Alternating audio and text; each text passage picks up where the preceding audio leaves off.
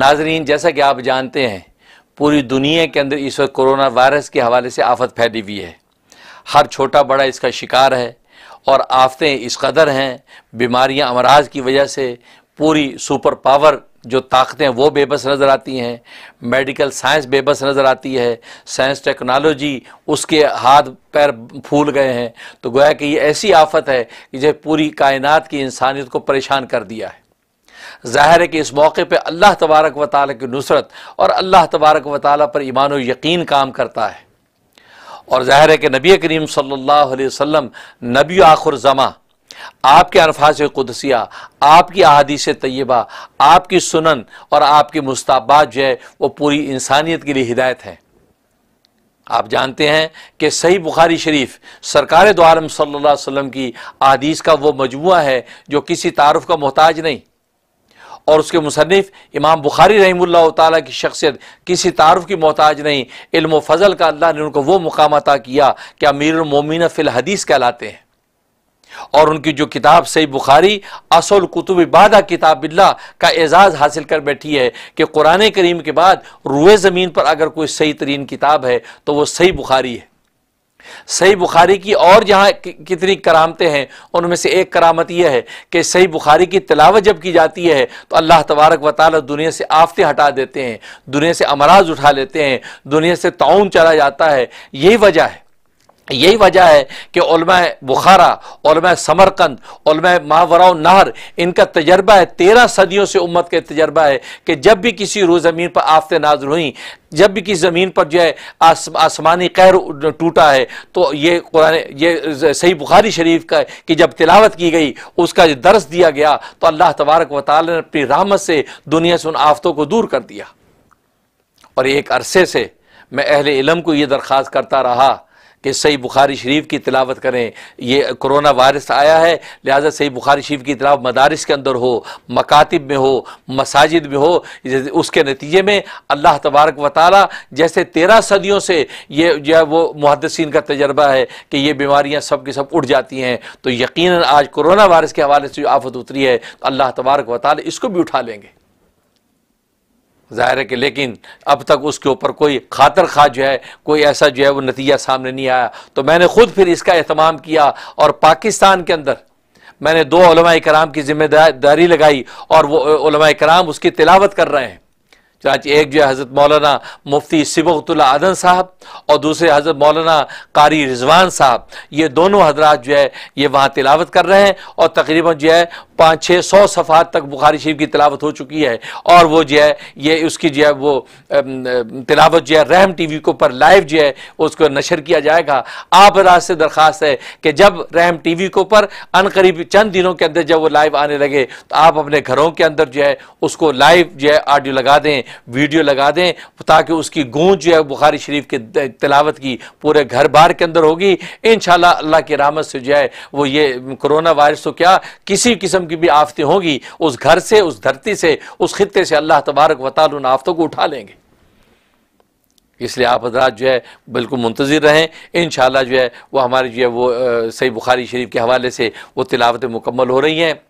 تبھی جو ہے انشاءاللہ وہ تلاوت جب ان کی شروع ہو تو آپ حضرات جو ہے ضرور اس کو خود سنیں بھی اور جو ہے وہ اس کو گھر کے اندر بلند آواز سے لگائیں بھی اور آگے بھی دوستوں کو share کریں جب پورے عالم کے اندر جگہ جگہ بخاری شریف کی تلاوت جو ہے آپ کے ٹیلی ویژن کے اوپر ہونے لگے گی، آپ کے فون کے اندر ہونے لگے گی، تو انشاءاللہ اللہ کی رحمت سے جو ہے وہ کرونا وائرس جی کی کوئی حقیقت نہیں ہے۔ اس طرح کے کتنے بھی وائرس ہیں، سب کے سب اللہ تبارک و تعالی روئے زمین سے مٹا دیں گے۔ آمین۔ یا رب العالمین۔ ہمارے دوسرے چینل مفتی منیر احمد اخون official کو subscribe کریں۔ مزید ویڈیوز کا notification حاصل کرنے کے لیے bell icon کو press کریں۔ ویڈیوز کو لائک کریں شیئر کریں اور کمنٹ میں اپنی رائے کا اظہار کرنا مت بھولیں۔ شکریہ۔ بسم اللہ الرحمن الرحیم۔ باب المحصر وجزاء الصید۔ وقوله تعالى فإن أحصرتم فما استيسر من الهدي ولا تحلقوا رؤوسكم حتى يبلغ الهدي محله. وقال عطاء الإحسار من كل شيء يحبسه. قال أبو عبد الله وحصورا لا يأتي النساء. باب إذا أحسر المعتمر. وبه قال حدثنا عبد الله بن يوسف، أخبرنا مالك عن نافع عن أن عبد الله بن عمر رضي الله عنه حين خرج إلى مكة معتمرا في الفتنة، قال إن صددتم عن البيت صنعنا كما صنعنا مع رسول الله صلى الله عليه وسلم، فأهل بعمرة كما من أجل أن أن رسول الله صلى الله عليه وسلم كان أهل بعمرة عام الحديبية.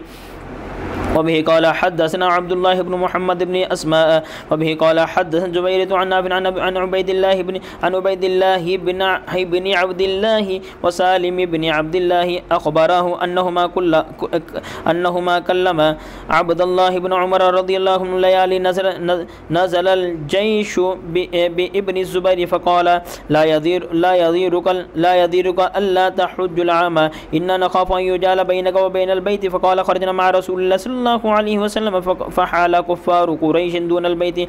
فنحر النبي صلى الله عليه وسلم هديه وحلق رأسه وأشهدكم أني قد أوجبت عمرة إن شاء الله أنطلق. فإن خلي فإن خلي بيني وبين البيت طفت وان حيل بيني وبينه. فعلت كما فعل النبي صلى الله عليه وسلم وأنا معه فأهل بالعمرة من ذي الحليفة ثم صار ساعه ثم قال إنما شأنهما واحد أشهدكم أني كما أوجبت حجة مع عمرتي فلم يحل منهما حتى حل حتى حل يوم النحر وأهدى وكان يقول لا يحل وكان لا نحل حتى نطوف طوافا واحدا يوم يوم ندخل مكة. وبه قال حدثنا موسى بن إسماعيل قال حدث جبي جبيرية عن نافع أن بعض بني عبد الله قال له له أقمت بهذا؟ وبه قال حدثنا محمد قال حدثنا يحيى بن يحيى بن صالح حدثنا وبه قال حدثنا معاوية سلام وبه قال حدثنا يحيى بن أبي كثير عن إكرمة قال فقال ابن عباس رضي الله عنهم قد قد أحصر رسول الله صلى الله عليه وسلم فحلق رأسه وجامع نساءه ونحر هديه حتى اعتمر عاما قابلا. باب الإحصار في الحج. وبه قال حدثنا أحمد بن محمد قال أخبرنا عبد الله وبه قال حدثنا حدثنا يونس عن الزهري أخبرني سالم قال كان قال كان ابن عمر رضي الله عنهم يقول أليس يقول أليس حسبكم سنة رسول الله صلى الله عليه وسلم؟ إن حبس أحدكم عن الحج فطاف بالبيت وبالصفا وبالصفا والمروة والمروة ثم حل من كل شيء حتى يحج عاما قابلا فيهدي أو يصوم. إن لم يجد هديا وعن عبد الله قال أخبرنا معمر عن الزهري وحدثني سالم عن ابن عمر رضي الله عنه نحوه. باب النحر قبل الحلق في الحصر. وبه قال حدثنا محمود قال قال حدثنا عبد الرزاق قال اخبرنا معمر عن الزهري عن عن عن عروة عن عن عن, المس عن المسور رضي الله عنه ان رسول الله صلى الله عليه وسلم نهر قبل ان يحلق وامر اصحاب امر اصحابه بذلك. وبه قال حدثنا محمد بن عبد الرحمن عبد الرحيم أخبرنا أبو بدر شجاع بن الوليد عن عمر عن عمر بن محمد بن محمد العمرية قال وحدث نافع أن أن عبيد الله سال أن عبيد الله وسالما وكلم كلم عبد كلم عبد الله بن عمر رضي الله عنه فقال خرجنا مع النبي صلى الله عليه وسلم معتمرين فحال كفار قريش دون البيت فنحر رسول الله صلى الله عليه وسلم بدنه بدنه وحلق رأسه. باب من قال ليس على المحصر بدل. وقال روح عن شب عن شبل عن عن ابن أبي نجيح عن مجاهد عن ابن عباس رضي الله عنه إنما البدل على من نقص حجه بالتلذذ.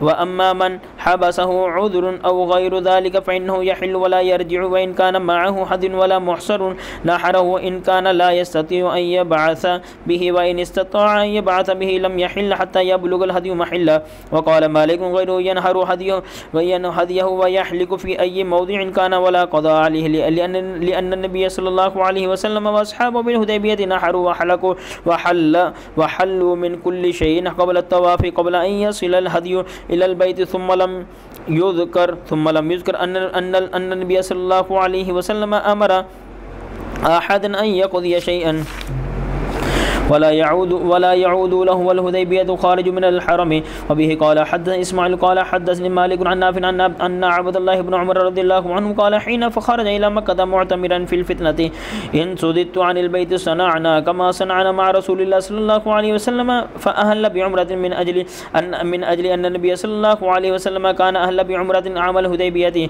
ثم إن عبد الله عبد الله بن عمر ثم نظر في نظر في أمره فقال ما أمرهما إلا واحد فالتفت إلى أصحابه فقال ما أمرهما إلا واحد أشهدكم أني كم أني قد أوجبت الحج مع العمرة ثم طاف لهما طواف واحد ورأى أن ذلك مجزئ عنه وأهدى.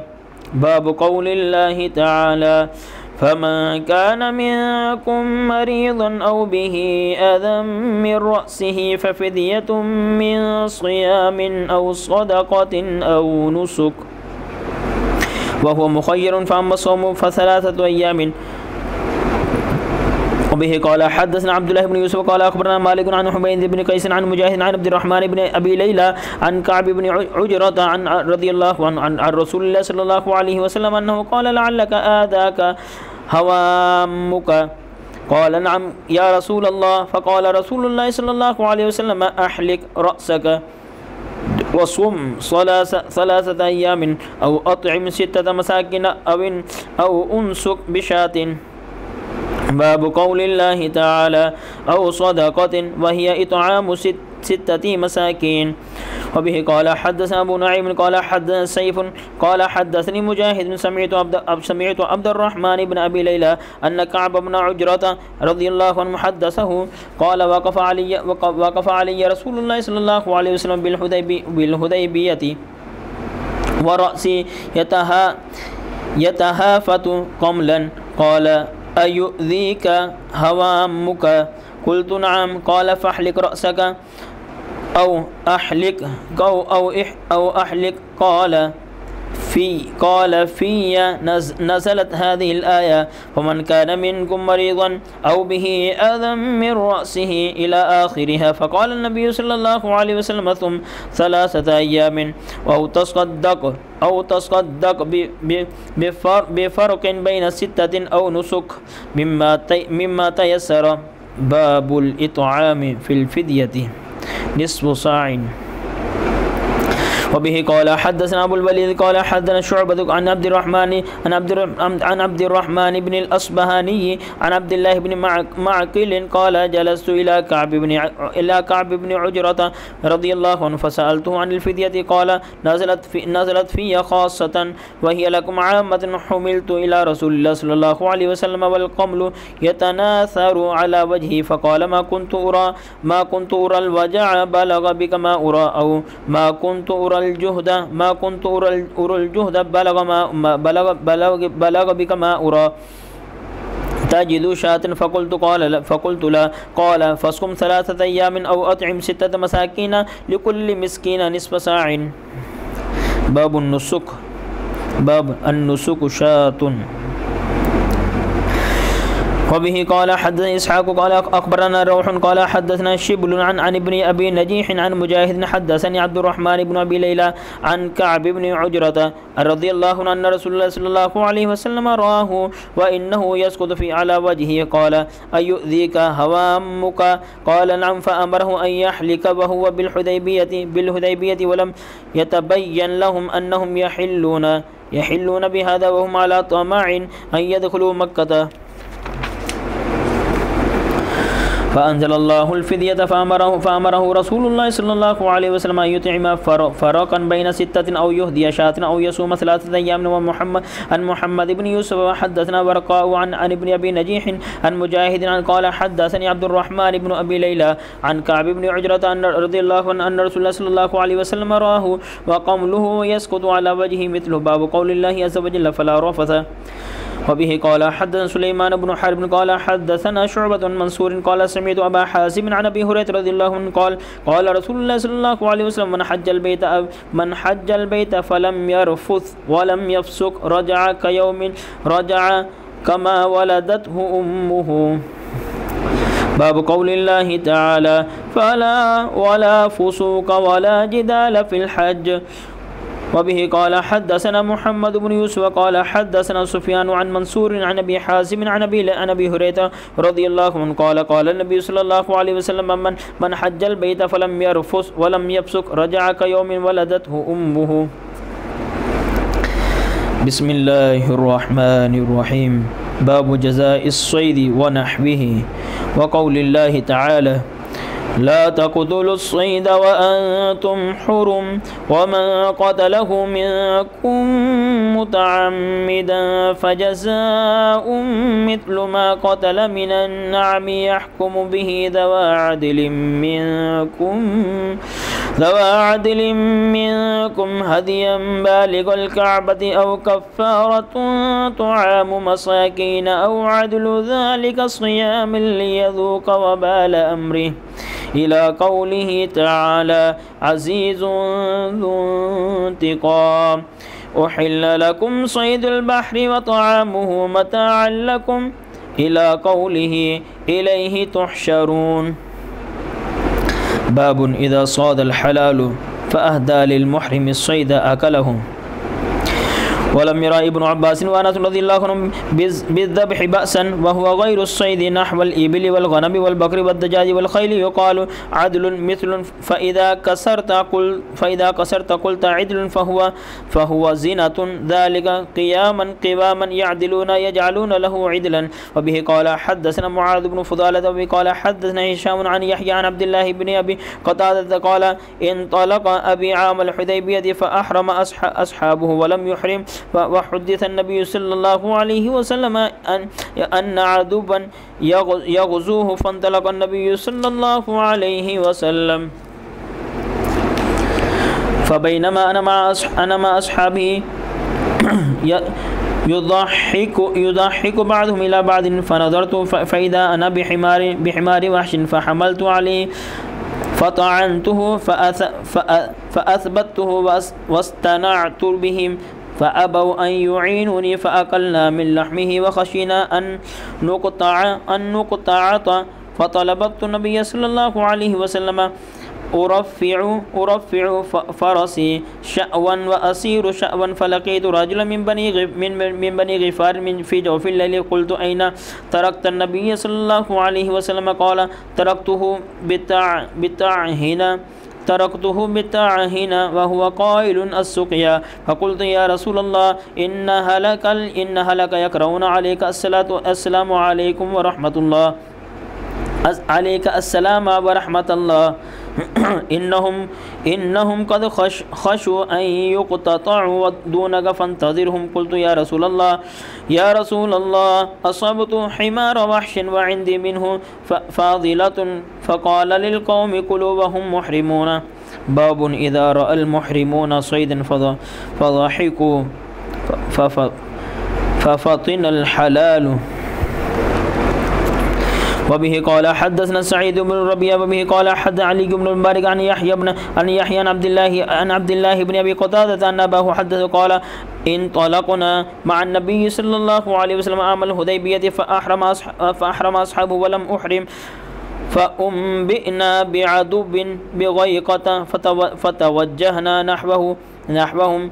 فبصر أصحابي بحمار وحش فجعل بعضهم يضحك إلى بعض فنظرت فرأيته فحملت عليه الفرس فطعنته فأثبته فاستعنتهم فاستعنتهم فأبوا أن يعينوني فأكلنا منه ثم ثم لاحقت برسول الله صلى الله عليه وسلم وخشينا وخشينا أن نقتطع أرفع أرفع فرسي شأوا وأسير عليه شأوا فلقيت رجلا من بني من بني غفار في جوف الليل فقلت له فقلت له أين تركت رسول الله صلى الله عليه وسلم؟ فقال تر تركته بالتاع هنا وهو قائل السقيا فلحقت برسول الله صلى الله عليه وسلم حتى أتيته. فقلت يا رسول الله صلى الله عليه وسلم إن أصحابك أرسلوا يقرؤون عليك السلام ورحمة الله وإنهم قد خشوا أن وإنهم قد خشوا أن يقطعهم أن يقطعهم العدو دونك فانظرهم ففعل فقلت يا رسول الله صلى الله عليه وسلم إن إن الصدنا حمار وحش وإن وإن وإن عندنا منه فاضلة. فقال رسول الله صلى الله عليه وسلم لأصحابه قلوبهم محرمون. باب لا يعين المحرم الحلال في قتل الصيد.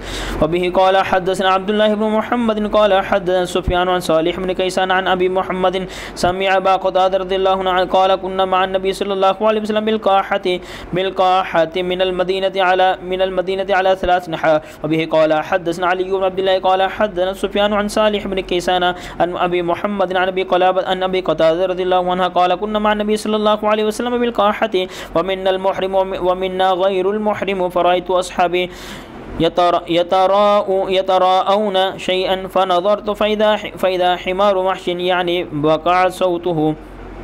فقالوا نعينك عليه بشيء إنا محرمون. فناولته فأخذته ثم أتيت الحمار من وراء من وراء أك أكمة فع فعق فعق فعقرته فأتيت به أصحابي.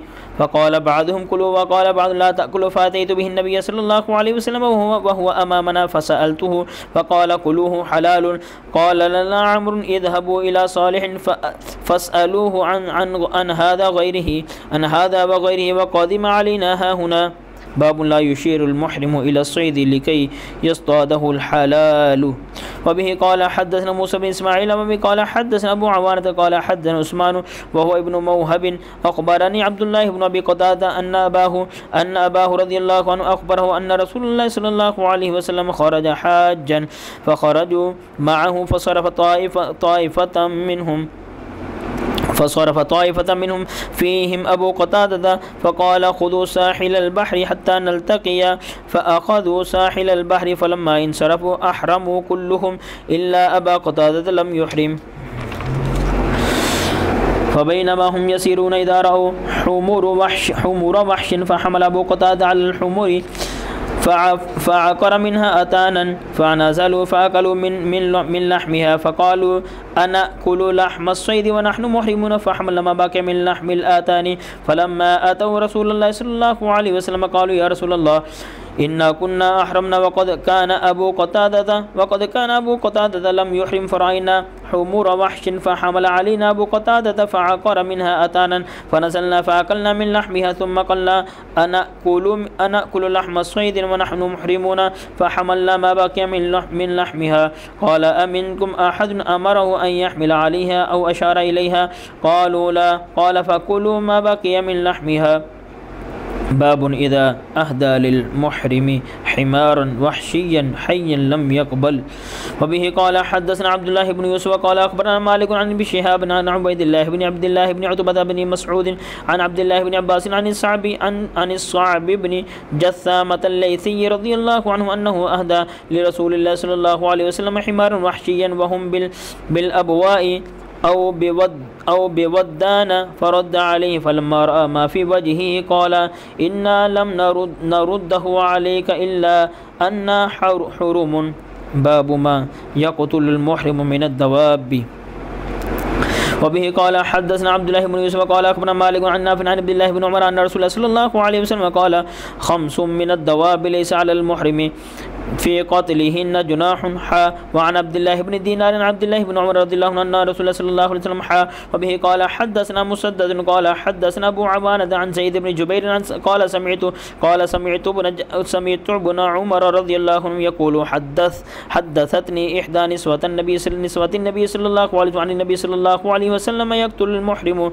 حا وبه قال حدثني اسبغ أسبغ بن الفرج. قال أخبرني عبد الله بن وهب عن يونس عن ابن شهاب عن سالم قال قال عبد الله بن عمر رضي الله عنه قالت حفصة رضي الله عنها قال رسول الله صلى الله عليه وسلم خمس خمس من الدواب لا حرج على من قتلهن الغراب والحداء والفأرة والفأرة والعقرب والقلب والقلب العقور. وبه قال حدثني يحيى بن يحيى بن سليمان. وبه قال حدثني ابن وهب قال أخبرني يونس عن ابن شهاب عن عن عائشة رضي الله عنها أن رسول الله صلى الله عليه وسلم قال خمس من الدواب كلهن فاسق يقتلن في الحرم. الغراب والغراب والحداء هداءة والحداءة والعقرب والفأرة والكلب العقور. وبه قال حدثنا عمر بن حبس حبس بن غياث. وبه قال حدثنا أبي حدثنا الأعمش. قال حدثنا إبراهيم عن الأسود عن عبد الله بن عن عبد الله رضي الله عنه قال بين قال بين نحن مع رسول الله صلى الله عليه وسلم في غار بم- بمنى. إذا نزلت عليه والمرسلات عرفا وإنه ليتلوها وإني وإني لا وإني لأتلقاها من فيه. وإن فاه لرطب بها. وإذا وثب وثبت علينا حية فقال النبي صلى الله عليه وسلم اقتلوها. فب تدرنا فضحبت فقال النبی صلی اللہ علیہ وسلم وقیت شرحکم کما وقیتم شرحا قال ابو عبد قال ابو عبد الله قال أبو عبد الله إنما أردنا بهذا إن أن منا من الحرم وإنهم لم يروا بقتل الحية بأسا وبه قال حدثنا وبه قال حدثنا إسماعيل قال حدثنا مالك عن ابن شهاب عن عروة بن الزبير عن عائشة رضي الله عنها زوج النبي صلى الله عليه وسلم أن رسول الله صلى الله عليه وسلم قال للوسخ فويسق ولم أسمعه أمر بقتله. باب اللہ یعضد شجر الحرام وقال ابن عباس رضی اللہ عنہم عن النبی صلی اللہ علیہ وسلم لا يعضد, لا يعضد شوقه وبه قال حدثنا قتيبة قال حدث حدثنا ليس عن سعيد بن ابي سعيد المقبوري عن ابي شريح العدو العدوي العدوي انه قال لعمرو بن عم- لعمرو بن سعيد وهو يبعث البعوث الى مكة ائذن لي ايها الامير أحد احدثك قوم قولا قام به رسول الله صلى الله عليه وسلم الغداء. الغد من من يوم الفتح فسمعته أذناي وأذناي ووعاه قلبي وأبص- وأبصرت عي وأبصرته عيناي حين تكلم به أنه حمد الله وأثنى عليه ثم قال إن مكة حرمها الله ولم يحرمها ولم يحرمها الناس فلا يحل لامرئ يؤمن بالله واليوم الآخر أن يسفك أن يسفك بها دما ولا يع ولا يعضد بها شجرة فإن أحد ترخص لقتال رسول الله صلى الله عليه وسلم فقولوا له إن الله أذن لرسوله ولم. ولم يأذن لكم وإنما أذن لي ساعة من نهار وقد عادت حرمتها اليوم كحرمتها بالأمس وليبلغ وليبلغ الشاهد الغائب فقيل لي فقيل لأبي شريح ما قال لك عمرو قال أنا أعلم بذلك منك يا أبا شريح إن الحرم لا يعيد عاصيا ولا فار بدم ولا فار ب- بخربة وقال أبو عبد الله خربة بلية. باب لا ينفر باب لا ينفر ينفر صيد الحارم وبه قال حدثنا محمد بن المسنى قال حدثنا عبد الوهاب قال حدثنا خالد عن إكرمة عن ابن عباس رضي الله عنه أن النبي صلى الله عليه وسلم قال إن الله حرم مكة فلم تحل لأحد قبلي ولا تحل لأحد بعد وإنما أحلت لي ساعة من نهار. لا يقتل خلها ولا يعضد شجرها ولا ينفر ولا ينفر صيدها ولا يلتقط لقطتها إلا لمعرف فقال العباس يا رسول الله صلى الله عليه وسلم إلا الإذخر لصاغتنا وقبورنا. فقال إلا الإذخر عن خالد عن كرمة قال هل تدري ما لا ينفر صيدها؟ هو أن ين- أن ينحي هو أن ينحية من الظل ينزل ينزل مكانه. باب لا يحل القتال بمكة. وقال أبو شريح عن النبي صلى الله عليه وسلم لا يسفك بها دما وبه قال حدثنا عثمان بن عثمان بن أبي شيبة قال حدثنا جرير عن منصور عن مجاهد عن طاووس عن ابن عباس رضي الله عنهما قال قال النبي صلى الله عليه وسلم يوم افتتح مكة لا هجرة ولكن جهاد ونية فإذا فإذا استنفرتم فانفروا فإن هذا بلد حرمه الله يوم خلق السماوات والأرض وهو حرام بحرمة الله إلى يوم القيامة وإنه لم يحل القتال فيه لأحد قبلي ولم تحل لي إلا ساعة من نهر فهو حرام بحرمة بحرمة الله إلى يوم القيامة. لا يعضد شوكه ولا ينفر صيده ولا ولا يلتقط لقطته إلا من عرفه إلا من عرفها ولا يختلى خلاها. قال العباس رضي الله عنهم يا رسول الله إلا الإذخر فإنه لقينهم ولبيوتهم. قال قال إلا الإذخر. باب الحجامة للمحرم.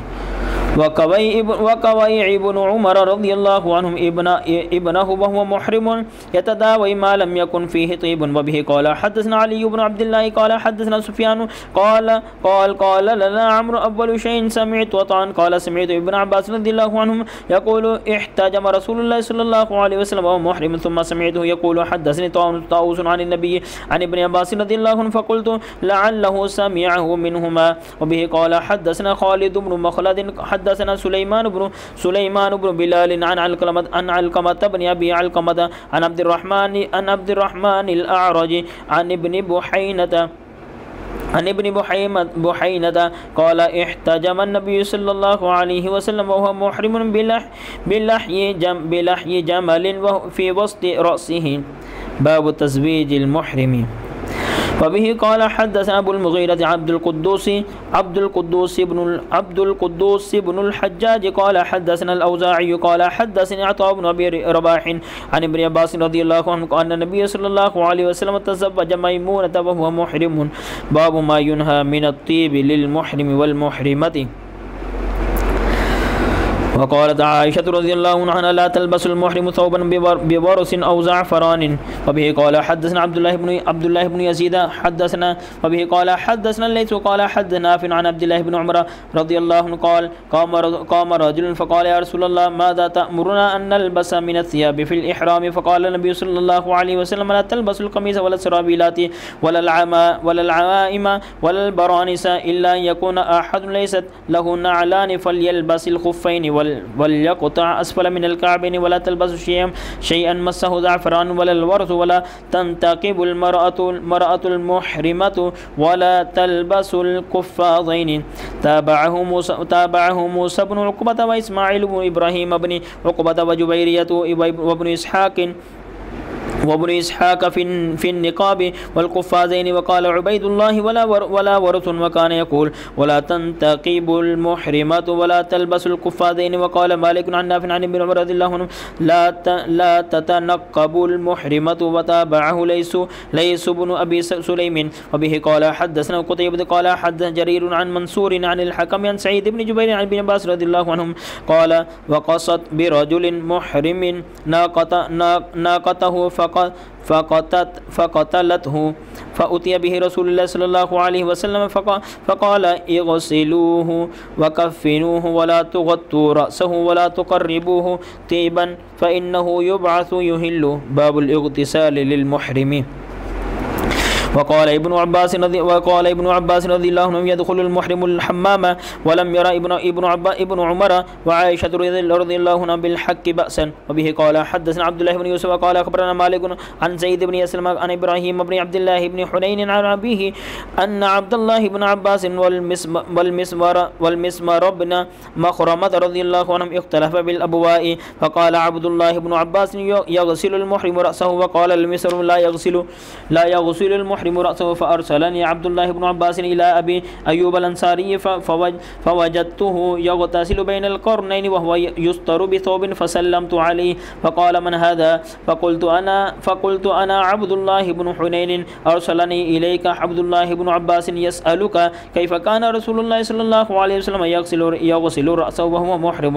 فوضع أبو أيوب فوضع أبو أيوب يده على ثوب فطأطأه حتى بدا حتى بدا لي رأسه، ثم قال لإنسان ثم قال لإنسان يصب عليه أصب أصبب فصب على رأسه، ثم حرك رأسه بيديه فأقبل بهما وأدبر فقال هكذا رأيته صلى الله عليه وسلم يفعل. باب لبس الخفين للمحرم إذا لم يجد النعلين.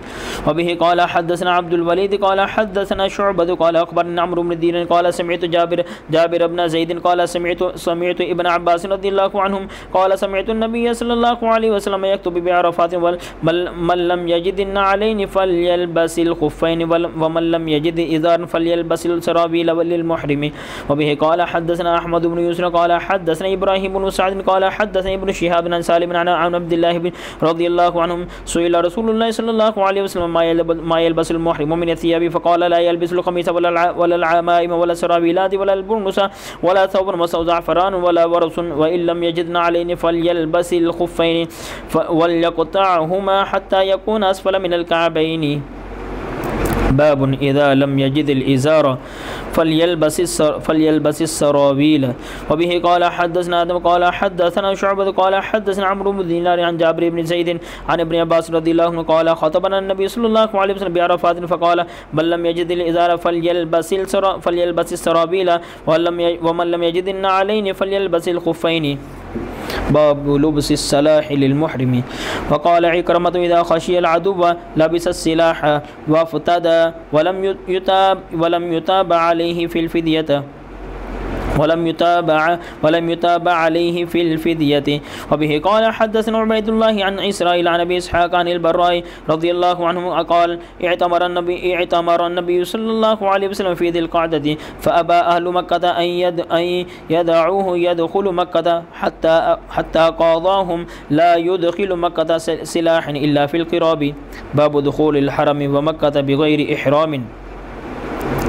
ودخل ابن عمر رضي الله عنه حلالا وإنما أمر النبي صلى الله عليه وسلم بالإهلال لمن أراد الحج والعمرة ولم ولم يذكر للخطابين وغيرهم وبه قال حدثنا مسلم قال حدثنا وهي بن وبه قال حدثنا ابن طاووس عن أبيه عن ابن عباس رضي الله عنهم أن النبي صلى الله عليه وسلم وقت لأهل المدينة الحليفة ولأهل نجد ولأهل نجد قرن المنازل ولأهل اليمن الألملم هن لهن ولكل آت أتى عليهن من غيرهن من أراد الحج والعمرة. فمن كان دون ذلك فمن في من حيث أنشأ حتى أهل مكة من مكة وبه قال حدنا عبد الله بن يوسف قال أخبرنا مالك عن ابن عن ابن شهاب عن أنس بن مالك رضي الله عنه أن رسول الله صلى الله عليه وسلم دخل عام الفتح وعلى رأسه المغفر فلما نزعه جاءه رجل فقال إن ابن خطل متعلق متعلق بأستار الكعبة، فقال اقتلوه. باب إذا أحرم جاهلا وعليه قميص. وقال عطاء إذا تطيب أو لبس جاهلا أو ناس فلا كفارة عليه وبه قال حدثنا أبو الوليد قال حدثنا همام قال حد عطاء قال حدثني صفوان بن يعلى عن أبيه رضي الله عنه قال كنت مع النبي صلى الله عليه وسلم فأتاه رجل عليه جبة وعليه أثر صفرة أو نحو أو نحو. وكان ابن وكان عمر بن الخطاب يقول لي تحب إذا نزل عليه الوحي إن إذا إذا نزل عليه الوحي الوحي أن تراه. فنزل عليه ثم سري عنه فقال اصنع في عمرتك ما تصنع في حجك. وعض رجل يد رجل وعض, وعض رجل يد رجل يعني فانتزع ثنيته ثنيته فأبطله النبي صلى الله عليه وسلم. باب المحرم يموت بعرفة ولم يأمر النبي النبي صلى الله عليه وسلم أن أن يؤدى عنه بقية الحج. وبه قال حدثنا سليمان بن حرب، وبه قال حدثنا حماد بن زيد عن عن عمرو بن دينار عن سعيد بن جبير عن ابن عباس رضي الله عنهم قال بين رجل واقف مع النبي صلى الله عليه وسلم بعرفة إذا وقع على عن راحلته.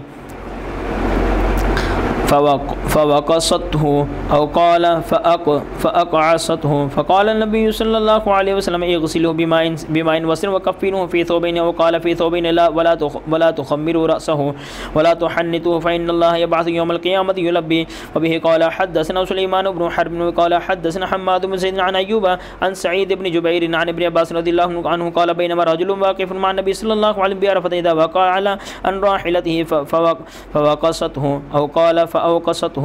فقال النبي صلى الله عليه وسلم يغسلوه بماء وسدر وكفنوه في ثوب ولا ولا تمسوه طيبا ولا تخم وتخمروا رأسه ولا تحنثوا فإن الله يبعثه يوم القيامة ملبيا باب سنة المحرم إذا مات. وبه قال حدثنا يعقوب بن إبراهيم وبه قال حدثنا هشيم قال أخبرنا أبو بشر عن سعيد بن جبير عن ابن عباس رضي الله عنه أن رجلا كان مع النبي صلى الله عليه وسلم فوقص فوقصته ناقته وهو محرم فمات فمات. فقال رسول الله صلى الله عليه وسلم يغسله بماء وسدر وكفنوه في ثوبه ولا ولا تمسوه بطيب ولا تخمروا رأسه فإنه يبعث يوم القيامة ملبيا. باب الحج والنذر عن الميت والرجل والرجل يحج عن المرأة.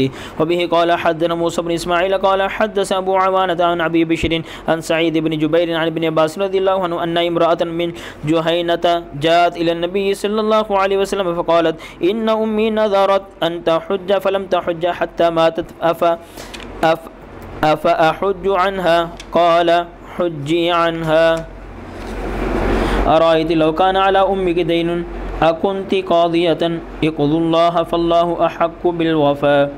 باب الحج عمن لا يستطيع الثبوت على على وبه قال حدثنا أبو عاصم عن ابن جريج عن ابن شهاب عن سليمان بن يسار عن ابن عباس رضي الله عن الفضل, عن الفضل بن عباس رضي الله عنهم أن امرأة قالت وبه قال حدثنا موسى بن إسماعيل قال حدثنا عبد العزيز بن أبي سلمة وبه قال حدثنا ابن ابي ابن شهاب عن سليمان سليمان بن يسار عن ابن عباس رضي الله عنه قالت قال جاءت جاءت امرأة من خثعم عام حجة الوداع. فقالت يا رسول الله، إن فريضة الله على عباده في الحج أدركت أبي شيخا كبيرا لا يستطيع أن يستبي على الراحلة، فهل يقضي عنه أن أحج عنه؟ فقال نعم.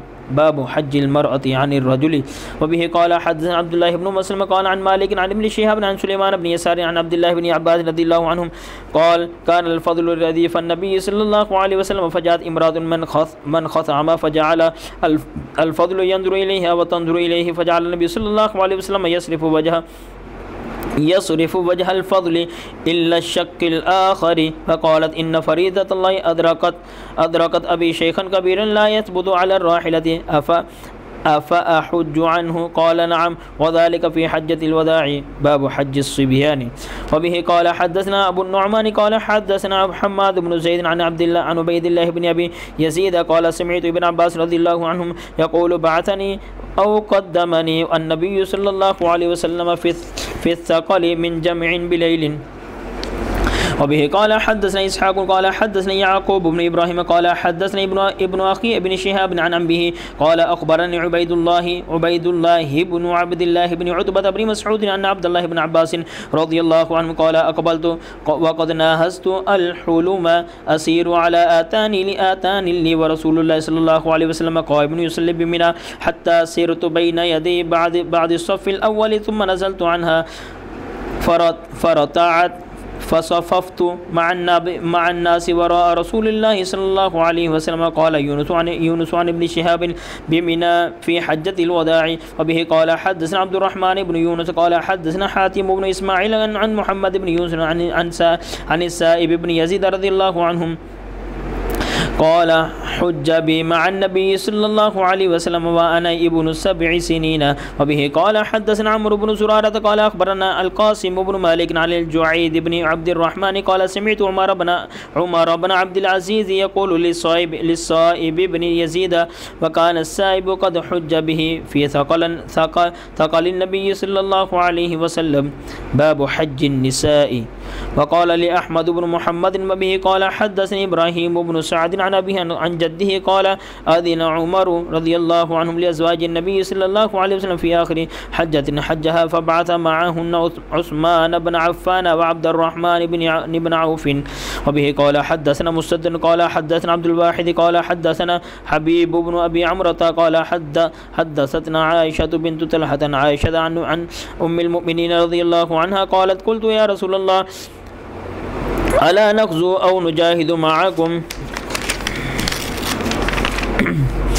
فقال لكن أحسن الجهاد وأج وأجمله الحج الحج الحج مبرور. فقال عائشة فقالت عائشة رضي الله عنها فلا أدع الحج فلا أدع الحج بعد إذا سمعت هذا من رسول الله صلى الله عليه وسلم. وبه قال حدثنا أبو النعمان قال حدثنا حماد بن زيد عن أمر عن أبي عن أبي معبد مولى بن عباس عن أبي عباس رضي الله عنهم قال قال رسول الله صلى الله عليه وسلم لا تسافر المرأة إلا مع إلا مع ذي محرم ولا ولا يدخل عليها رجل إلا ومعها محرم. فقال رجل يا رسول الله صلى الله عليه وسلم إني أريد أن أن أخرج في جيش كذا وكذا وامرأتي تريد الحج. فقال اخرج معها وبه قال حدثنا عبدان قال أخبرنا يزيد يزيد بن زريع قال حدثنا حبيب حبيب المعلم عن عطاء عن ابن عباس رضي الله عنه أن قال لما رجع النبي صلى الله عليه وسلم من من حجته قال لأم لأم سنان سنان الأنصارية ما منعك من الحج؟ قالت أبو فلان يعني زوجها وكان لنا ناضحان حج على أحدهما والآخر يسقي أرضا لنا قال فإن عمرة في رمضان تقضي حجة أو أو حجة معي. ورواه ابن جريج عن عطاء قال سمعت ابن عباس رضي الله عنه عن النبي صلى الله عليه وسلم وقال عبيد الله عن عن عبد الكريم عن عن جاب عن جابر رضي الله عنه عن النبي صلى الله عليه وسلم. وبه قال حدثنا سليمان بن حرب قال حدثنا شعبة عن عبد عن عبد الملك بن عمير عن عن قزعة مولى زياد قال سمعت أبا سعيد الخدري رضي الله عنهم قد غزا مع النبي صلى الله عليه وسلم ثنتي عشرة غزوة قال أربعا أربع سمعتهن من رسول الله صلى الله عليه وسلم أو قال يحدثهن عن النبي صلى الله عليه وسلم فأعجب فأعجبنني وآنقنني وآنقنني ألا تسافر امرأة مسيرة يومين ليس معها زوجها أو ذو محرم ولا صوم يومين الفطر والأضحى ولا صلاة بعد صلاتين بعد العصر حتى تغرب الشمس وبعد الصبح وبعد الصبح حتى تطلع الشمس ولا تشد الرحال إلا إلا إلى ثلاثة إلى ثلاثة مساجد المسجد الحرام المسجد الحرام ومسجد ومسجد الأقصى. باب من نظر المشي إلى الكعبة. وبه قال حدثنا محمد بن سلام قال أخبرنا الفزاري عن حميد الطويل قال حدثني ثابت عن أنس ان النبي صلى الله عليه وسلم رأى شيخا يهادي بين ابنيه قال ما بال هذا؟ قالوا نظر أن يمشي قال إن الله عن تعذيب هذا نفسه لغني وأمره أن يركب وبه قال حدثنا إبراهيم بن موسى قال أخبرنا هشام بن يوسف قال أن ابن جريج أخبرهم قال أخبرني سعيد بن ابي سعيد بن أبي أيوب أن يزيد بن أبي حبيب أخبره أن أبا الخير حدث عن عن, عن عقبة بن عامر رضي الله عنهم. قال نظرت قال نظرت أختي أن تمشي إلى بيت الله وأمرتني أن أن أستفت أن أستفتي لها النبي صلى الله عليه وسلم واستفتيت النبي النبي صلى الله عليه وسلم لتمشي ولتركب قال وكان ابو الخير لا يفارق عقبه قال ابو عبد الله وابيه قال حدثنا ابو عاصم عن ابن جريج عن يحيى بن ايوب عن ان يزيد بن ابي حب ابي حبيب عن ابي الخير عن عقبه رضي الله عنه، فذكر الحديث. ہمارے دوسرے چینل مفتی منیر احمد اخون official کو subscribe کریں۔ مزید ویڈیوز کا notification حاصل کرنے کے لیے bell icon کو press کریں۔ ویڈیوز کو like کریں، share کریں اور comment میں اپنی رائے کا اظہار کرنا مت بھولیں۔ شکریہ۔ بسم اللہ الرحمن الرحیم۔ فضائل المدینہ۔ اس باب میں امام بخاری رحمۃ اللہ علیہ مدینہ المنورہ، شہر نبی، آقا علیہ السلام کے متعلق اور مدینہ کے فضائل کے متعلق احادیث مبارکہ جو بیان کی ہے، اس باب میں ان کی تلاوت ہوگی۔ فضائل المدینہ، باب حرم المدينة وبه قال حدثنا أبو النعمان قال حدثنا ثابت بن يزيد قال حدثنا عاصم أبو عبد الرحمن الأحول عن أنس بن مالك رضي الله عن النبي صلى الله عليه وسلم قال المدينة حرم قال المدينة حرم من كذا إلى كذا لا يقطع شجرها ولا يحدث فيها حدث من أحدث فيها حدث فعليه لعنة الله والملائكة والناس أجمعين.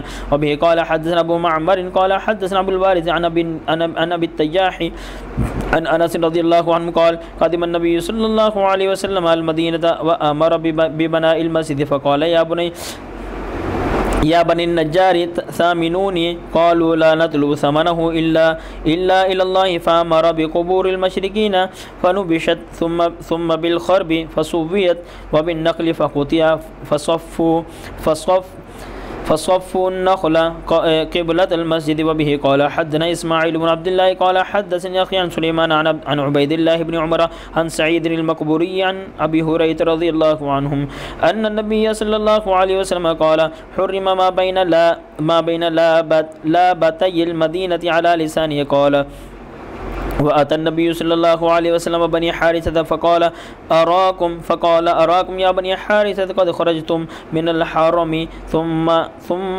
ثم التفت فقال بل أنتم فيه؟ وبه قال حدثنا محمد بن بشار قال حدثنا عبد الرحمن قال حدثنا سفيان عن الأعمش عن إبراهيم التيمي عن أبيه عن علي رضي الله عنهم قال ما عندنا شيء إلا كتاب الله وهذه الصحيفة عن النبي صلى الله عليه وسلم المدينة حرم ما بين عائر إلى كذا، من أحدث فيها حدثا أو أو آوى محدثا، فعليه لعنة الله والملائكة والناس أجمعين. لا يقبل منه صرف ولا عدل ولا وقال ذمة المسلمين واحدة، فمن فمن أخبر مسلما، فعليه لعنة الله والملائكة والناس أجمعين. لا يقبل منه صرف ولا عدل، فمن ومن تولى قوما بغير إذن مواليه، فعليه لعنة الله والملائكة والناس أجمعين. لا يقبل منه لا يقبل منه صرف ولا عدل. قال ابو عبد الله عدل فداء.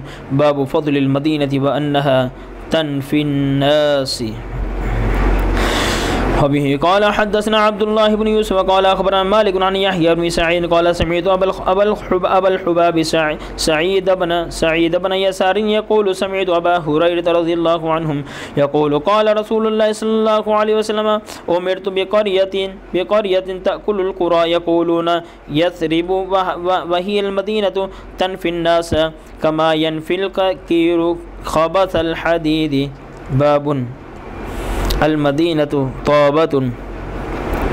وبه قال حدثنا خالد خالد بن مخلد قال حدثنا يا سليمان قال حدثني عمرو بن يحيى عن عن عباس بن سهل بن سعد عن أبي حميد عن أبي حميد رضي الله عنهم قال أقبلنا مع النبي صلى الله عليه وسلم من, تبوك حتى أشرفنا على المدينة فقال هذه طابة.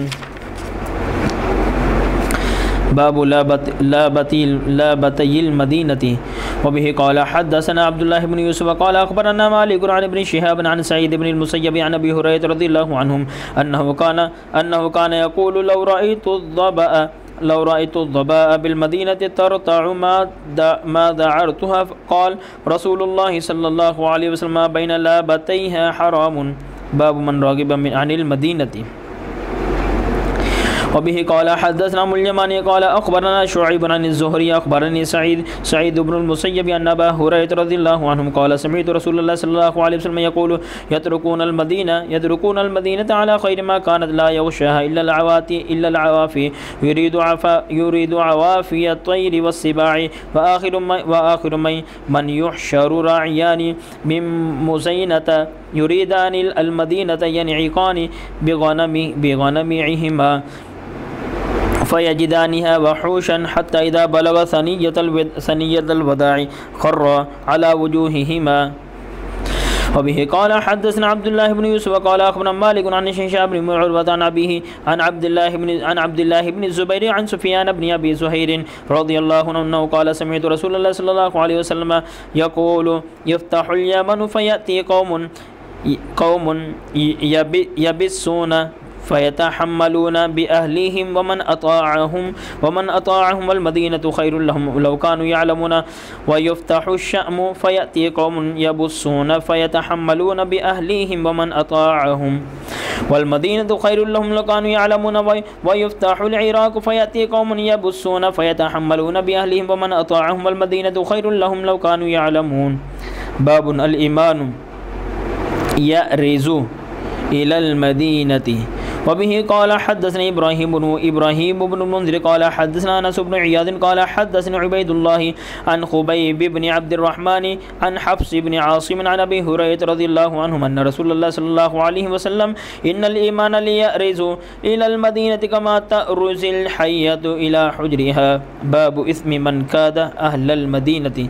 وبه قال حدثنا الحسين بن حريث قال أخبرنا الفضل الفضل عن جعيد عن عائشة بنت سعيد بنت سعد.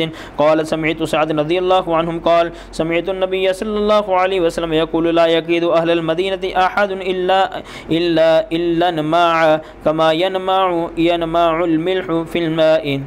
باب آطام المدينة وبه قال، حدثنا علي بن عبد الله قال، حدثنا سفيان قال حدثني ابن شهاب أخبرني عروة قال، سمعت قال، سمعت أسامة قال قال أشرف النبي صلى الله أشرف النبي صلى الله عليه وسلم على أطم من آطام المدينة فقال هل ترون ما أرى؟ إني لا إني لا أرى مواقع الفتن خلال مواقع الفتن خلال بيوتكم بيوتكم كمواقع القطر. تابعه معمر وسليمان وسليمان بن كثير عن الزهري. باب لا يدخل الدجال المدينة.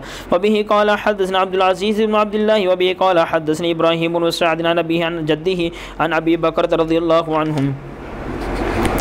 عن النبي صلى الله عليه وسلم قال لا لا يدخل المدينة رعب المسيح رعب المسيح الدجال لها يومئذ يومئذ سبعة أبواب على كل باب ملكان. وبه قال حدثنا إسماعيل قال حدثني وبه قال حدثني مالك عن نعيم بن عبد الله عبد الله المجمير عن أبي هريرة رضي الله عنه قال قال رسول الله صلى الله عليه وسلم على أنقاب المدينة ملائكة لا يدخلها الطاعون ولا الدجال. وبه قال حدثنا يحيى بن بكير قال حدثنا الليث عن وكيل عن ابن شهاب أخبرني عبيد الله عبيد, عبيد الله عبيد الله بن عبد الله بن عتبة أن أبا سعيد الخدري الخدري رضي الله عنه وقال حدثنا رسول الله صلى الله عليه وسلم حديثا طويلا عن الدجال فكان فيما حدثنا به أن قال يأتي الدجال وهو محرم عليه أن يدخل نقاب المدينة ينزل بعد بعد السباخ التي بالمدينة. فيخرج إليه يومئذ رجل هو خير الناس أو من خير الناس فيقول أشهد أنك الدجال الذي حدثنا عنك رسول الله صلى الله عليه وسلم حديثه. فيقول الدجال أرأيت إن قتلت هذا؟ ثم أحييته هل هل تشكون في الأمر؟ فيقولون لا فيقولون لا فيقتله ثم يحييه فيقول حين يحييه والله ما كنت قد أشد بصيرة من اليوم. فيقول الدجال أقتله فلا فلا يسلط عليه فلا يسلط عليه. وبه قال حدثني إبراهيم بن المنذر قال حدثنا الوليد قال حدثنا الوليد قال حدثنا أبو عمرو قال حدثنا إسحاق. وبه قال حدثني أنس أنس بن مالك رضي الله عنه عن النبي صلى الله عليه وسلم ليس عليه قال ليس من بلد إلا سيطأه الدجال إلا مكة والمدينة. ليس من من نقابها نقب إلا عليه الملائكة الصافين يحرسونها. ثم ترجف المدينة بأهلها ثلاثة رجاف رجفا رجفات فيخرج الله كل كافر ومنافق. باب المدينة تنفي الخبث.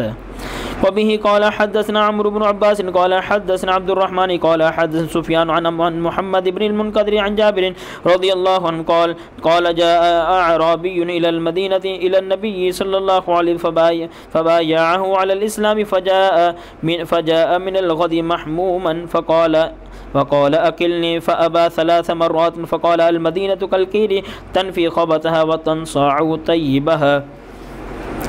وبه قال حدثنا سليمان بن حرب قال حدثنا شعبة عن عدي بن ثابت عن عبد الله بن يزيد قال سمعت زيد زيد بن ثابت رضي الله عنه يقول لما خرج النبي صلى الله عليه وسلم إلى أحد رجع ناس من أصحابه فقالت فرقة نقتلهم وقالت فرقة لا نقتلهم فنزلت فما لكم في المنافقين فئتين وقال النبي صلى الله عليه وسلم إنما تنفي الرجال إنما تنفي الرجال كما تنفي النار خبث خبث الحديد. باب وبه قال حدثنا عبد الله بن محمد قال حدثنا وهب بن جرير قال حدثنا بي قال سمعت يونس يونس عن عن ابن شهاب الزهري شهاب الزهري عن انس رضي الله عنه عن النبي صلى الله عليه وسلم اللهم قال اللهم اجعل بالمدينه ضعفي ما جعلت بمكه من البركه تابعه عثمان بن عمر عن يونس وبه قال حدثنا قتيبة قال حدثنا إسماعيل بن جعفر عن حميد عن أنس رضي الله عنه أن النبي صلى الله عليه وسلم كان إذا قدم من سفر فنظر إلى جدرات المدينة أوضع راحلته وإن كان على دابة حركها من حبها. باب كراهية النبي صلى الله عليه وسلم أن تعرى المدينة. وبه قال حدثنا ابن سلام قال أخبرنا الفزاري عن حميد عن حميد الطويل عن أنس رضي الله عنه قال أراد بنو سلمة أن يتحولوا إلى قرب المسجد فكره رسول الله صلى الله عليه وسلم أن تعرى المدينة وقال يا بني سلمة ألا, تحتس ألا تحتسبون آثاركم فأقاموا. باب وبه قال حدثنا مسدد قال يحيى عن عبيد الله بن عمر. وبه قال حدثنا خبيب بن عبد الرحمن عن حفص بن عاصم عن أبي هريره رضي الله عنه عن النبي صلى الله عليه وسلم قال ما بين بيتي ومنبري روضة من رياض الجنة ومنبري على حوضي. وبه قال حدثنا عبيد بن إسماعيل. وبه قال حدثنا أبو سامة عن هشام بن عروة عن أبيه عن عائشة رضي الله عنها قالت لما قدم رسول الله صلى الله عليه وسلم المدينة بعث أبو بكر وبلال فكان أبو بكر إذا أخذته الحمى يقول كل امرئ مصبح في أهله والموت أدنى من شراك نعله. وكان بلال إذا أقلي عنه الحمى يرفع عقيرته يقول ألا ليت الشعر هل أبيتن ليلة بواد وحولي إذخر وجليل؟ وهل أردا وهل أردا يوما مياه مجنة؟ وهل يبدون وهل يبدون لي شامة وطفي وطفيل؟ اللهم لعن شيبة بن ربيعة وعتبة بن ربيعة وأمية بن خلف كما أخرجونا من أرضنا إلى أرض الوباء. ثم قال رسول الله صلى الله عليه وسلم اللهم حبب إلينا المدينة كحبنا مكة أو أشد. اللهم بارك لنا في صاعنا وفي مدنا. اللهم بارك لنا في ساعنا ومدنا. وصح وصححنا وصحح حالنا. وانقل حماها إلى إلى الجحفة. قالت وقدمنا المدينة وهي أوباء أرض الله. قالت فكان بطحان يجري يجري نجلا تعني ماء آجنا وبه قال حدثنا يحيى بن بكير قال حدثنا ليس عن خالد بن يزيد عن سعيد بن أبي هلال عن زيد بن أسلم عن أبيه عن عمر رضي الله عنهم قال اللهم ارزقني شهادة في سبيلك واجعل موتي في بلد رسولك. وقال ابن زريع وقال ابن زريع عن روح بن روح بن القاسم عن زيد بن أسلم عن عن أمه عن حفصة بنت عمر عمر عن حفصة بنت عمر رضي الله عنها قالت سمعت عمر رضي الله عنها ونحوه وقال هشام عن زيد بن يسلم عن أبيه عن حفصة رضي الله عنها سمعت عمر رضي الله عنه قال أبو عبد الله كذا وكذا قال روح عن أمه हमारे दूसरे चैनल مفتی منیر احمد اخون آفیشیل کو سبسکرائب کریں۔ مزید ویڈیوز کا notification حاصل کرنے کے لیے bell icon کو press کریں۔ ویڈیوز کو like کریں share کریں اور comment میں اپنی رائے کا اظہار کرنا مت بھولیں۔ شکریہ۔